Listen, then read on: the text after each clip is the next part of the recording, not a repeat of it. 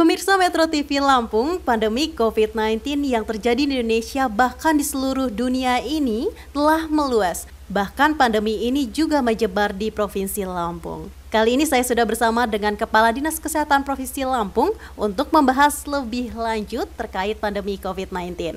Halo, selamat siang Bunda. Selamat siang. Halo, Apa kabarnya Bunda? Alhamdulillah baik, sehat. Sehat, Alhamdulillah luar biasa ya Bunda ya kabarnya ya. Iya. Oke Bunda, ini kita bicarakan terkait pandemi COVID-19 yang memang masih ada di Provinsi Lampung bahkan seluruh Indonesia Bunda.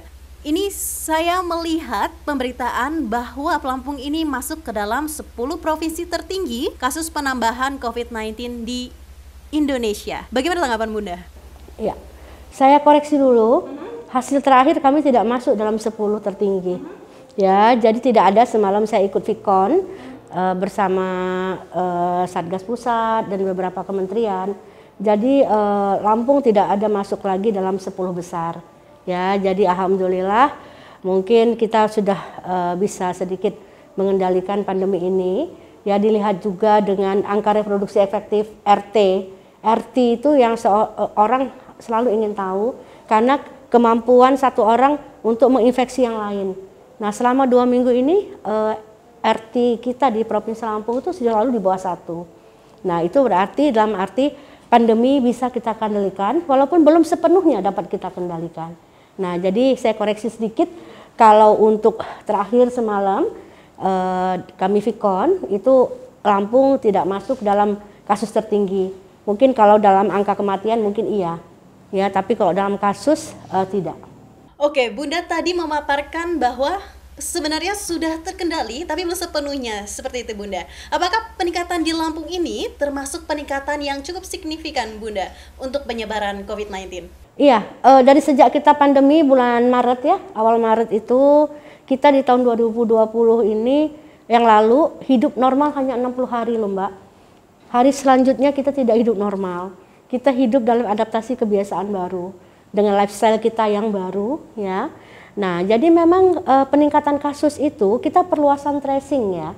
Jadi perluasan daripada kita pemeriksaan eh, labnya itu diharuskan juga oleh Bapak Presiden agar kita cepat mendapat sebenarnya yang utama itu adalah OTG OTG ya orang eh, yang konfirmasi tapi eh, ah si, non simptomatis jadi dia tidak ada tidak ada gejala nah itu yang sangat bahaya.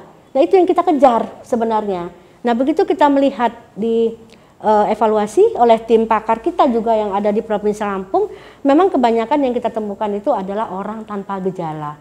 Yang orang tanpa gejala itu memang isolasi mandiri ya tidak harus minta ke rumah sakit. Jadi memang terjadi peningkatan, namun peningkatannya itu eh, kebanyakan yang kami temukan adalah orang-orang yang tanpa gejala. Kalau tidak cepat kita temukan, tidak pemutus rantai penularan, dia bisa menjadi silent spreader, bahkan super spreader.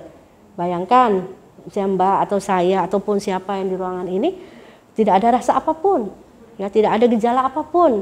Yang kebanyakan orang kalau dia positif pasti uh, minimal ada dia kehilangan indera pembau yang kita kenal dengan anosmia dan kehilangan indera pengecap nggak ada rasa bila kita uh, makan tidak ada rasa asin manis nggak ada lagi rasa. Nah ada juga seberapa, beberapa orang tidak punya gejala itu. Tapi begitu dilakukan kontak uh, tes tracing itu positif hasilnya dengan PCR nah ini yang harus kita putus rantai penularan harus segera diisolasi mandiri. Kalaupun tidak punya tempat untuk isolasi mandiri yang baik dan benar dalam arti kalau isolasi mandiri itu harus ruangan tersendiri, tidak bergabung bersama keluarga lain ya. Nah, silahkan pergi ke tempat-tempat yang sudah disiapkan oleh pemerintah daerah kabupaten kota. Baik Bunda, tadi Bunda memaparkan bahwa sebenarnya Lampung ini banyak orang tanpa gejala yang sebenarnya itu menjadi salah satu yang sangat berbahaya. Ini untuk Satgas COVID-19 sendiri apakah sinergitas yang sudah dilakukan untuk melakukan tracing yang cukup ketat bagi orang-orang tanpa gejala? Iya, tentu provinsi tidak bisa bekerja sendiri. Satgas provinsi pasti bekerja sama selalu dengan Satgas kabupaten kota. Ya, nah terkala ada yang uh, positif satu orang, itu tentu kita mengabarkan ke kabupaten kota. Jadi sinergi antara uh, pemerintah daerah kabupaten kota, ya, Nah mereka langsung misalnya positifnya di Bandar Lampung, kita langsung berikan informasi ke surveillance di Bandar Lampung. Silahkan uh, mungkin tuan atau nyonya A usia, usia sekian, silahkan di tracing uh, karena positif. Nah itu kabupaten kota. Terus selain itu juga lintas sektor, kita harus kerjasama dengan lintas sektor, organisasi profesi harus kita libatkan juga ya dalam mengalami pandemi ini, termasuk media loh. Media itu juga harus selalu memberitakan yang berimbang. Ya, jadi menaikkan imun masyarakat. Kalau berita medianya yang negatif terus, imunitas masyarakat pasti turun. Oke Bunda, tadi Bunda juga memaparkan bahwa sinergitas ini sudah dilakukan. Apakah sinergitas ini sudah efektif dilakukan bahkan bisa menekan angka penyebaran COVID-19 di Lampung? Ya, kalau kalau kami berusaha sinergitas itu semaksimal mungkin. Namun tidak ada yang sempurna. Kita harus terus mengejar untuk kesempurnaan itu ya jadi terus kita cari cara-cara yang terbaik exit strategi yang terbaik bagaimana kita bahkan melakukan evaluasi dari per kabupaten kota 15 kabupaten kota itu masing-masing masalahnya. Jadi kita evaluasi misalnya ke Kabupaten Tanggamus bagaimana, Kabupaten Pringsewu bagaimana, Kota Bandar Lampung bagaimana, itu kita evaluasi dari sistem surveillance-nya, dari pelayanan kesehatannya ya. Kita lihat gitu. Nah, kita beri informasi kepada ketua Satgas ya, kita laporkan kepada ketua Satgas Bapak Gubernur. Nah, nanti beliau akan mengambil kebijakan seperti apa untuk kabupaten kota itu agar kita bisa keluar dengan pandemi ini.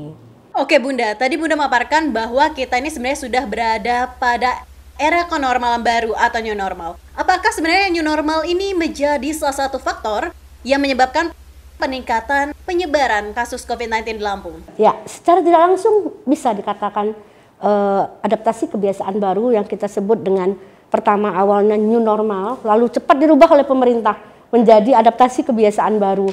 Karena bagi sebagian orang, new normal dianggap sudah normal. Ya, padahal kan new normal itu adaptasi kebiasaan baru, kita harus hidup berdampingan dengan virus COVID-19. Ya, karena tidak bisa kita mengharapkan orang berdiam diri di rumah terus, work from home, ya. Sementara hidup harus berjalan. Bagaimana juga uh, PEN ya, pemulihan ekonomi nasional itu harus tetap berjalan. Jadi kalau ditanya sama Mbak, ada nggak yang mensupport mungkin dari uh, new normal? Sebagian iya, karena masyarakat menganggap ah sudah normal. Nah oleh karena itu kita harus memberikan sosialisasi bahwa adaptasi kebiasaan baru pandemi itu belum berakhir. Oke Bunda, ini akan ada pertanyaan selanjutnya terkait hal ini, tapi kita akan melanjutkan di segmen berikutnya. Pemirsa Metro TV Lampung, kita akan lanjutkan perbincang ini, tetaplah bersama kami di Dialog Spesial.